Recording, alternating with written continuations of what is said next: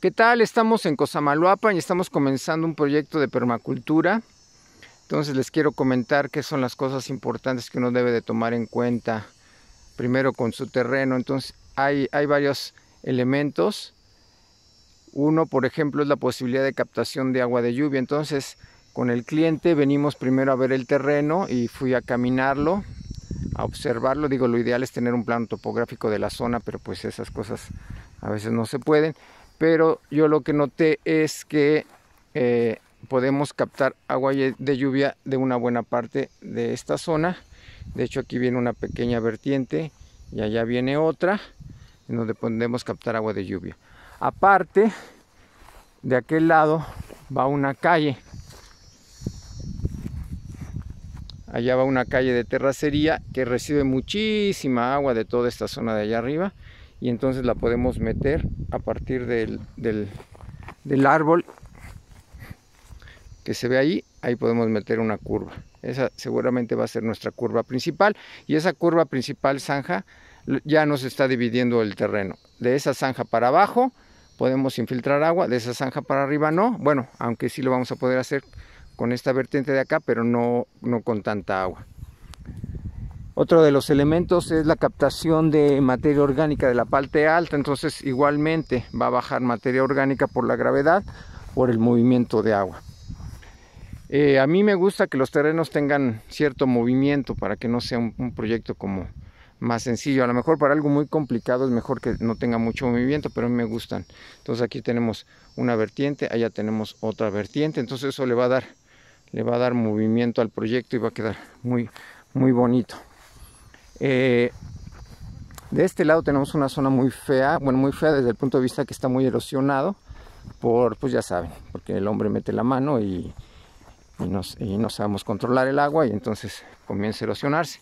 Pero pues nosotros igual hacemos el análisis y vemos que nos conviene colocar, ¿no? En estas zonas o cómo nos conviene arreglarlo, ¿no? todos los árboles que ya existen, que aparte de unos muy bonitos, pues los vamos a dejar.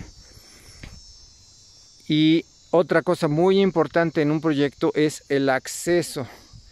Entonces, este, este, este, terreno está muy bien, o sea, tiene muchas posibilidades porque tenemos calle por tres lados. De este lado, de este lado y de aquel lado. Aunque la de aquel lado lo más seguro es que no lo vayamos a utilizar porque esa calle pues está muy mal trazada, ¿no? Ya saben, ya sabemos qué hacemos los seres humanos. De hecho, ahí podemos ver, ¿no? En donde hay una barda, cómo está el suelo, todo erosionado. Así somos. Entonces esa calle está muy mal trazada, baja mucha agua y en el futuro va a ser muy complicado darle mantenimiento. Entonces lo más seguro es que se entre por este lado eh, con la zanja de, infiltración principal. Entonces, bueno, esas son de las cosas, las vistas. Ah, el, muy, muy importante, la orientación.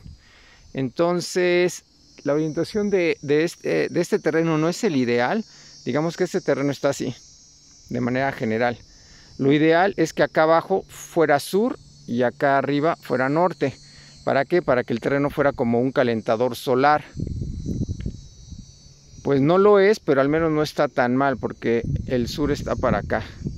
Entonces, digamos que la parte más alta no es la parte norte, pero es noreste, entonces no está tan mal el, el terreno. Eso, eso, eso es bueno. También es bueno que el terreno no tenga más de un 20% de inclinación y que no tenga menos de un 2%, porque por un lado es muy difícil trabajarlo y, si está muy plano es muy, muy complicada la, eh, el drenaje y el movimiento de agua. Entonces aquí estamos. ¿Dónde? Bueno, vino mi hijo a ayudar.